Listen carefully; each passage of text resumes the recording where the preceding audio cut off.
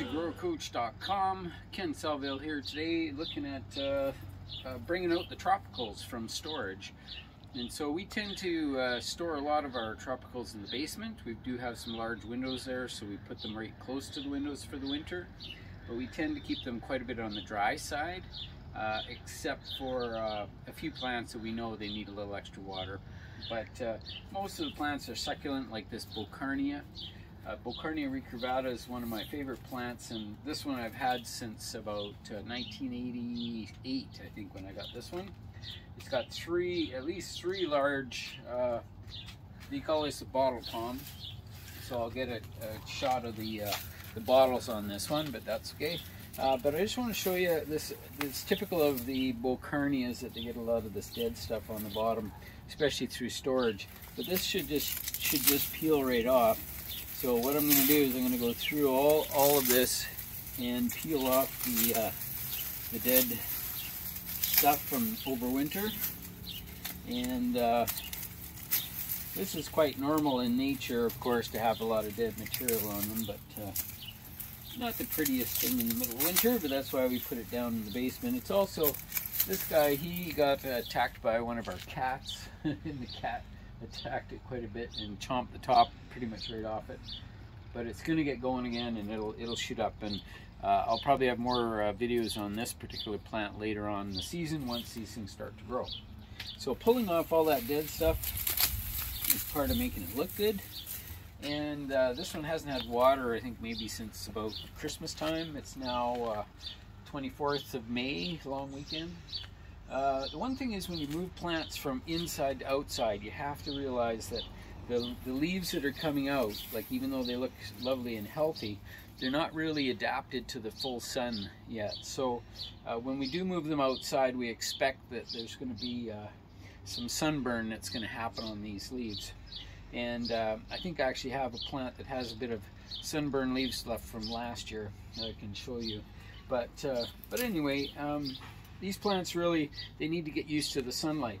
So even though this one's got the tip that's sitting right out in the full sun, I've got this shade structure, of pergola here. So I'm gonna actually rotate this a bit, at least just temporarily, until it gets into a bit of shade here. So now by rotating it, now I've got the whole plant in, in partial shade. So the tips in shade, all the growing tips are in shade now. So I'll leave it like that for today. Tomorrow, I'll give it a little bit more. That's the beauty of having a pergola where you have this dappled sunlight.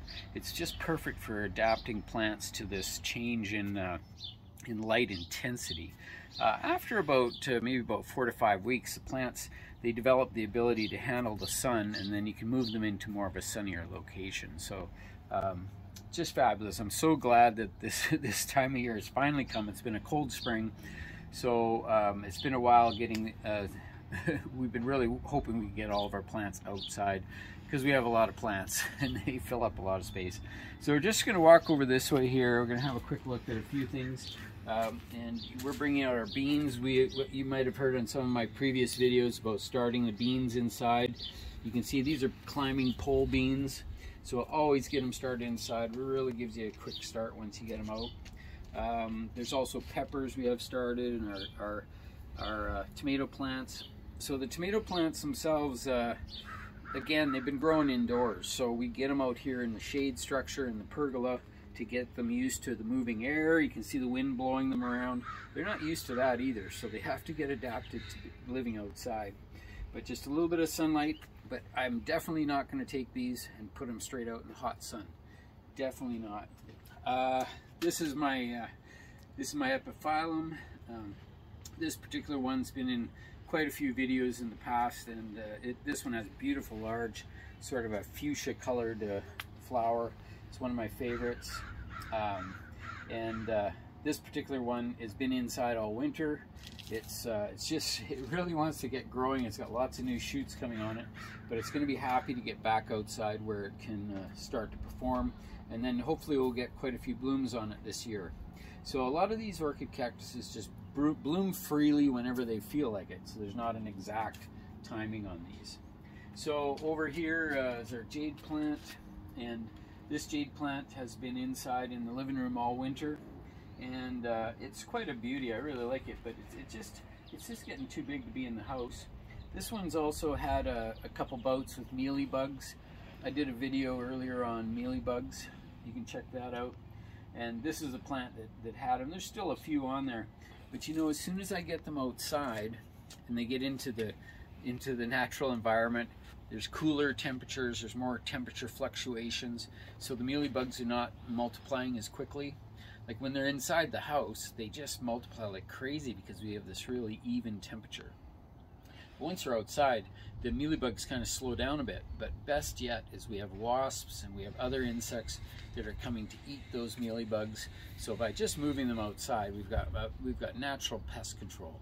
Especially in our garden, it's so full of flowers. Remember, lots of flowers means lots of beneficial insects. So um, just something to watch for. So uh, this guy, even though these guys live in the desert, I still have to adapt it. I'm going to turn this one a little bit. I've got it in this location where it's a little bit shaded and, and the sun's moving this way, so it's going to become in full shade here within just about another half an hour. So another giant plant that we have is our uh, Epiphyllum oxypetalum, and uh, this plant is it's a monster. It was growing up and growing across the ceiling inside the house. Now we've got it outside. I've got to give it a good soak, um, give it some extra water, and uh, just uh, welcome it to the outdoors. So I've got it right up tight against the wall here. And I'm not sure yet what I'm going to do with the bad hair day stuff up top. But um, these guys, they are super fast growing. So they can grow about uh, six or eight feet in a single year quite easily. So I just keep chopping them off and bending them around, trying to keep it keep it on the trellis. Um, but when this one blooms, I don't know if you've seen my videos on this thing when it blooms. It's beautiful, super fragrant, huge white flowers. These guys bloom only at night, so they're pollinated by bats. So very cool plant and uh, beautiful and fragrant. So we've got all kinds of other plants here that we'll be talking about, but it's really this thing about getting the plants outside in the springtime and, and, and getting them used to the temperatures. You gotta watch the nighttime temperatures. Any plants that are tropicals, they really don't like to go below about maybe maybe 10 or 8 degrees Celsius, somewhere around there. So they have to have quite a few degrees above freezing. Even getting close to freezing is a bit of a shock for them. Uh, so anyway, I'm just putting it out there that uh, you know you need to be uh, cautious when you're moving plants inside and out, and they will adapt, but it takes about three or four weeks for them to get used to it. So again, the pergola is the secret. That's what gives you the uh, the best results because it gives you that dappled sunlight that really helps to adapt the plants gradually to the full sun. So that's it for today. Thanks very much for tuning in to Grower Coach.